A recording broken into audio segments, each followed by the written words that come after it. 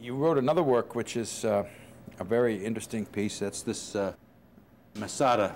This is an oratorio, right? Yeah. Uh, and the text, you say it's adapted by yourself. It's loosely based on uh, Isaac uh, Lamden's poem. It's an epic poem, Right. Masada. Uh, not a great deal of it. Uh, sections taken from the regular litur- liturgy, and um, some from Josephus, because that's really the only historical. And although it's suspect, a lot of what Josephus oh, is, yes, is it suspect is. because he had a political agenda of his own. And uh, Of course. But- Listen, I don't deal in history, basically. I deal in art. Right. It started out as a piece for Richard Tucker, and um, it was commissioned by the National Symphony, Antal Girardi, uh, for Tucker and for a speaker who was wonderful, the speaker, uh, because he had been a singer, who uh, was a singer manqué. He lost his voice, uh, George London, a great artist. And he was the uh, speaker. It was a bass. hmm? Yes. Uh, the University of Maryland Chorus, Antal Dorati, and the National Symphony. And I really didn't finish the work. As I told you before, I never do. You didn't finish Hardly it, but any. it was performed. well, it was finished after, a- after a fashion. But uh, I didn't have the right ending. Uh, all of that I did when it was done many years later with the Chicago Symphony. When you say you finished it then, uh, I finished what it. What does that mean?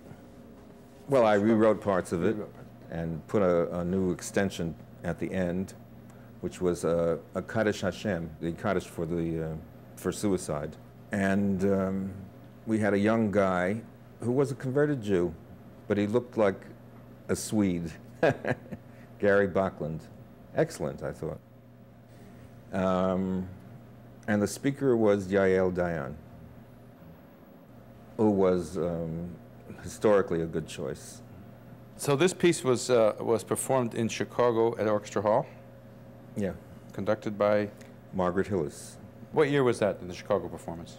87, I think. So obviously your your your uh, style of writing in, in Masada is, we know it's not serialized, but It's a little abrasive still for me.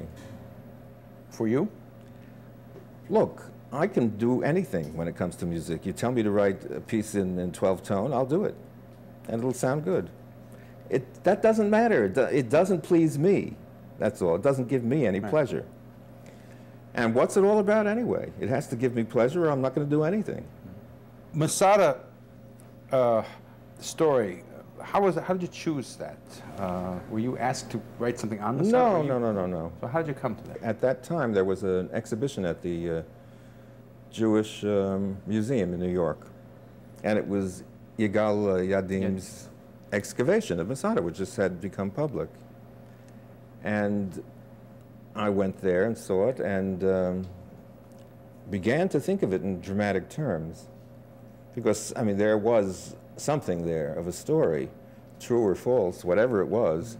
It was one of the more interesting stories You were inspired to choose this subject by the. Yes, uh, and then I did some research basically, and uh, found that the the Lamden poem. The uh, I read whatever little there is. Well, there is actually a very good speech by Josephus Mm-hmm. that he wrote for. Um, Is the speech incorporated Yes, here? it is, It's, just- it's, it's a very dramatic thing. oh, it certainly is. I mean, that was the That- probably more than Lamden. That was the linchpin of of Mm-hmm. the thing because there was my big tenor moment. What year uh, with the commission, the original commission? um, I think it was seventy three. the commission then was just for a piece from the Washington? Yeah, it was not just for a piece. It was a, for a piece for Richard Tucker. You could Yeah. choose whatever you wanted to choose. Oh, yeah, but what other uh, subject would be as appropriate for Tucker as this? I knew it would appeal to him, and um, it did.